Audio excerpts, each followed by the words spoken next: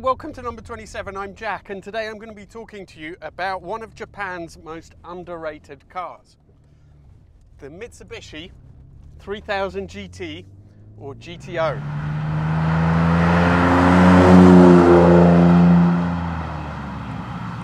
Now, in the 1990s, Mitsubishi decided they wanted to make something truly special. And I remember reading Autocar back when I was still a teenager, and there was the sort of scoop section or whatever, the upcoming section, and they were talking about Mitsubishi producing this car. And I, there was a sense of disbelief, both from me, but actually I think also from the journalist who was writing that, about whether they were going to pull it off, because this car was going to have not one, but two turbos. It's going to have a V6 engine. It was going to have four wheel drive. It was going to have four wheel steer. It was going to have active aero. It was going to have electronically switchable suspension. And it was going to have electronically switchable exhaust. And I, let me tell you, at the time, that was just absolutely unheard of. Some of those things were present in some cars, but there was no other car that approached it in terms of like tech overkill. This was just something completely on a different scale, on a different level.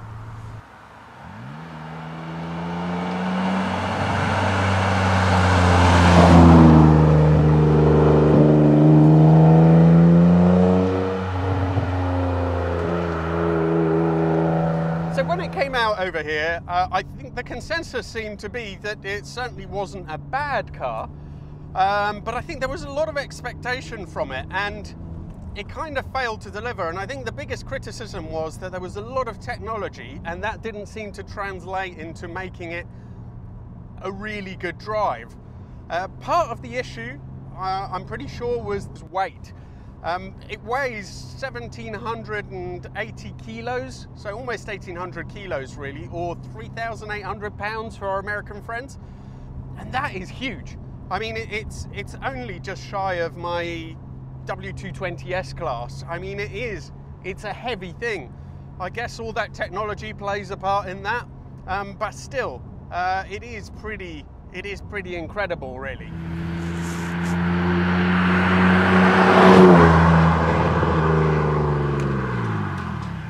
Also notable that in America, Dodge had the Stealth, which was essentially a rebodied GTO.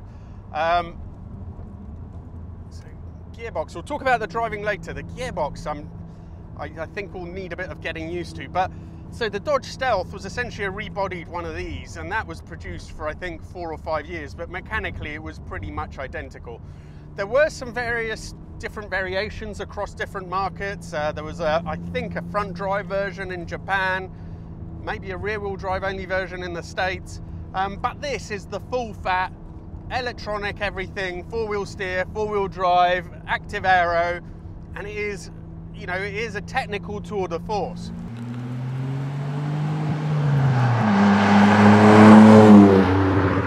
Now, Dev, who owns this car, nice young lad, and I asked him why he got it or how he came to get it, and unbelievably, he was he was originally looking for a hybrid Yaris.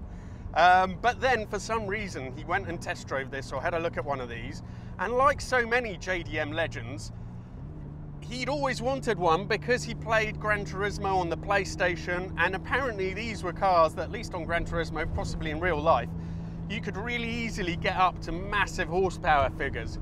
So he'd always wanted one. Now there were a couple of facelifts throughout its life. This is a phase two car, so it doesn't have the pop-up headlights, which actually I miss, but this looks quite cool in a sort of techie Japanese way with those lights. Um, it does have a six-speed box, which is actually quite handy, uh, and a few other minor revisions really, but um, on the whole, very similar to the phase one. There was a phase three that was only, I don't think that came out in Europe, that was only in the States and in Japan, and that actually did away with some of the cool tech. So the active aero, I think, was taken away, the active suspension or the switchable suspension, but it had a more aggressive body kit, and actually I do think they do look good, the Phase 3s. So the Mitsubishi V6 was used in some of their other cars. In this one, with the twin turbos, it develops 280 horsepower. Uh, however, the car's weight blunts the performance a little bit, but it is fast. Out on an open road like this, it actually starts to make a lot more sense. On that little tight and windy one, the suspension wasn't quite working as well as you would like in the sense that it was it was feeling a bit jiggly and so on.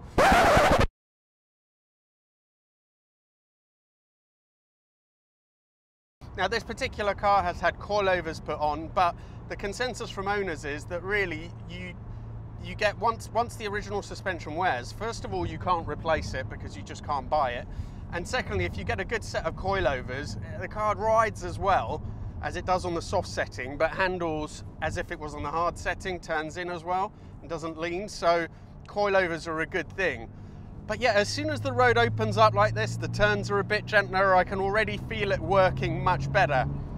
It's a big car, and on the tighter roads, it isn't quite as at home as you would, um, as you'd want, I guess. But on a road like this, it's already miles better.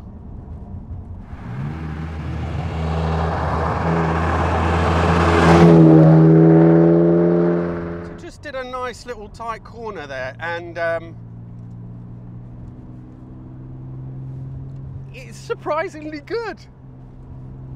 Um, so when you're driving around normally it feels a bit jiggly, it doesn't quite seem to doesn't quite seem to work, but uh, it had a bit of an R32 feel just there, uh, in the sense that yeah, it feels nice. So the engine basically seems to have power pretty much everywhere. It keeps on pulling until 7, but there isn't really any point in revving it quite that high. It does sound, it sounds nice, I think, for a turbo engine. It doesn't sound amazing, but as we said, there's a turbo engine. You can feel the little whistle as the second turbo spools in. Um, there's not really much lag, especially for an early turbo of this time. So I think they were really successful in that. So if you pick up the pace a bit,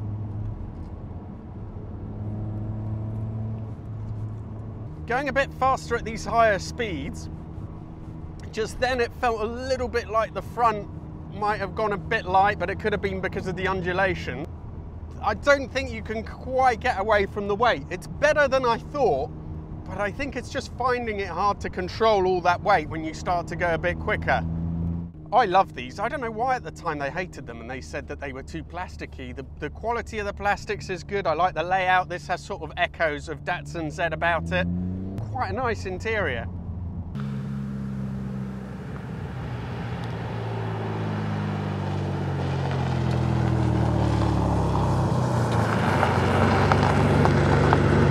So I want to gather my thoughts. So I've just pulled over and basically it's a really interesting car this and to me I found it sort of behave differently in different circumstances. So on really tight corners it completely belies its weight and I think that's where the four-wheel steering really comes into its own and it sort of makes it feel like a more agile car and actually it's got a bit of an R32 feeling about it where it kind of starts to push out but really benignly on both sides and it feels really nice. And then that kind of gets you quite excited about the higher speed stuff. But on the higher speed stuff, to me at least, it feels like it behaves slightly differently. Not badly, but just a bit differently. It's not quite as much fun. So this isn't the ideal road to test this car, to be honest, because it's really bumpy. There's loads of undulations. So it absolutely makes the makes the weight uh, it brings the weight into relief you know it brings it into the fore the the problem that it is quite a porky car um, but um, the gearbox that I was talking about, I actually got used to it, and you just have to find where third gear is. It's not quite instinctive, but it's fine. It's very close to first gear, but it's nice and short and stubby. Um, and it very much feels like one of those lovely JDM, JDM products from the 90s. I mean, I really like it. In terms of, you know, if you're a scratcher and you want a car for driving hard, then for me, an R32 is definitely going to give you more back than this. On the other hand, this is definitely something that you could probably tour in quite easily, and it's just a, a very different sort of car. Why is it that it hasn't had the sort of success of the other cars have? Well, I think partly it is that maybe it's not the sharpest car to drive, but I think there's also some other factors. And the first is that in the US, this was a car that was imported. All the others, the R32s, all that kind of stuff, was never officially imported. And it gave it, although it was in the in the various PlayStation games and so on, it gave them a cachet, you know, for the US market, and some of them weren't imported to the UK either. Um, so that's one thing. I think also there was so much expectation because of the amount of technology that was being squeezed to. And don't forget at the time, Japanese, Japan was on a complete roll. Not just in terms of their cars, but economically, it looked like the Japanese could do anything. So when this came out with all this technology packed into it, it had to be amazing. And it turned out to be a good car, but maybe not quite as special feeling or not, it wasn't the way that the testers had envisaged at the time whatever you think about the way that these drive, I think that it should be held in high esteem simply because it was the car that introduced all the technology that we take for granted 30 years later. It really was a technical tour de force and unbelievable that they managed to come out with this in the 1990s. You have to remember at that time, there was, that was when we had like Vauxhall Cavaliers. You know, injection was quite a fancy and advanced thing at that time. And they come out with something with four wheel steer, four wheel drive, twin turbos, active aero, active suspension and active exhaust. It was unheard of. Um, anyway, thank you so much to Dev for letting me drive this today. Um, th this is his sort of pride and joy. He's had it resprayed. It's a really nice example. Um, fortunately or unfortunately, it didn't have the active suspension because he's changed it to coilovers, but apparently they're better like this, so fair enough. Please do subscribe if you haven't. And if you have an interesting car, please do get in touch with me. Instagram is the best way. And um, yeah, and really look forward to seeing you for the next one.